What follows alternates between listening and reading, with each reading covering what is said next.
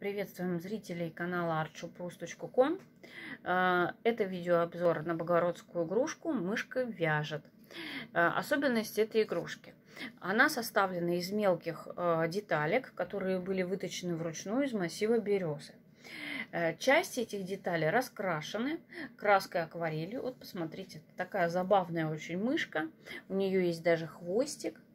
Ручки, лапки и вот этот вот носок, который она вяжет, а, прикреплены с помощью ниточек к грузику. Вот. Это старая вообще а, техника, старорусская, создание а, резных деревянных игрушек. Так вот при покачивании грузика мышка начинает водить лапками и кажется, что она вяжет носочек.